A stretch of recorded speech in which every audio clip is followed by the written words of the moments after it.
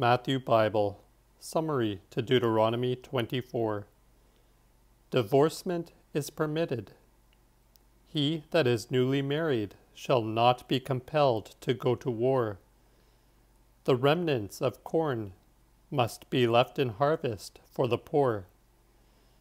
The 24th chapter When a man hath taken a wife and married her, if she find no favor in his eyes, because he hath spied some uncleanness in her, then let him write her a bill of divorcement, and put it in her hand, and send her out of his house.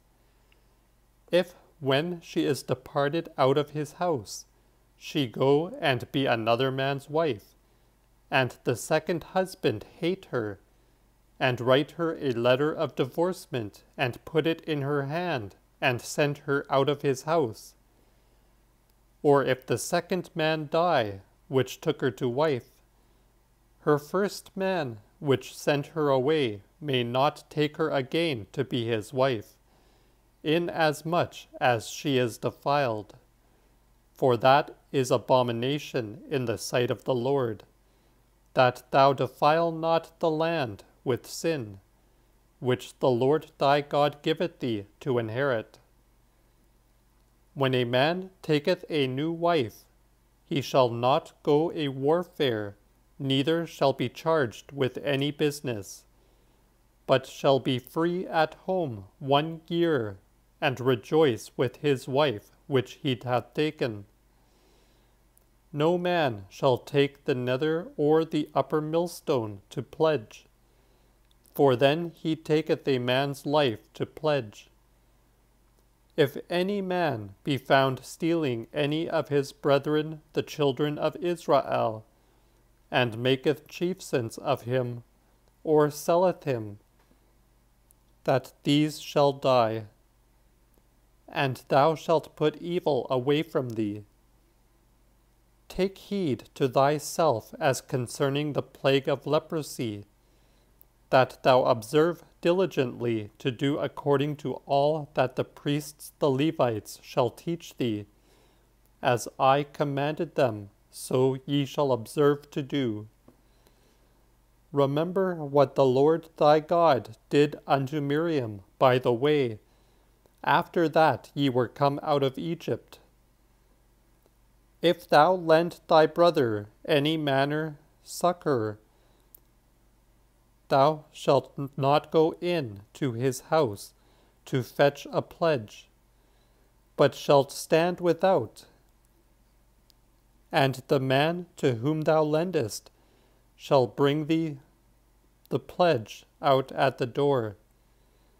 Furthermore, if it be a poor body, go not to sleep with his pledge, but deliver him the pledge again by the sun go down, and let him sleep in his own raiment, and bless thee. And it shall be righteousness unto thee before the Lord thy God.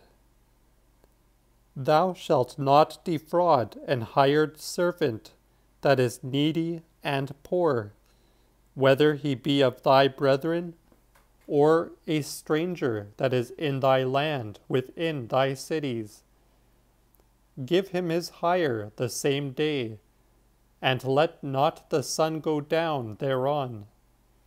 For he is needy, and therewith sustaineth his life, lest he cry against thee unto the Lord, and it be sin unto thee.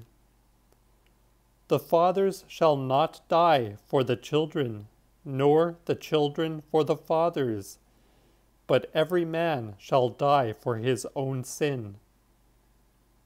Hinder not the right of the stranger, nor of the fatherless, nor take widow's raiment to pledge. But remember that thou wast a servant in Egypt, and how the Lord thy God delivered thee thence. Wherefore I command thee to do this thing when thou cuttest down thine harvest in the field, and hast forgotten a sheaf in the field, thou shalt not go again and fed it, but it shall be for the stranger, the fatherless, and the widow, that the Lord thy God may bless thee in all the works of thine hand. When thou beatest down thine olive trees, thou shalt not make clean riddance after thee, but it shall be for the stranger, the fatherless, and the widow. And when thou gatherest thine vineyard, thou shalt not gather clean after thee, but it shall be for the stranger, the fatherless, and the widow. And remember that thou wast a servant in the land of Egypt. Wherefore I command thee to do this thing.